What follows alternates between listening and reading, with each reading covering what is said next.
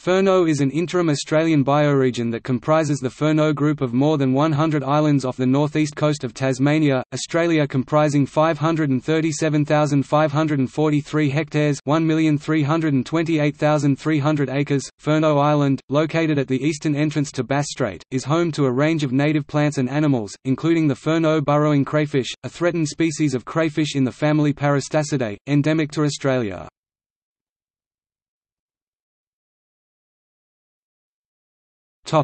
See also. Ecoregions in Australia. Interim biogeographic regionalisation for Australia. Regions of Tasmania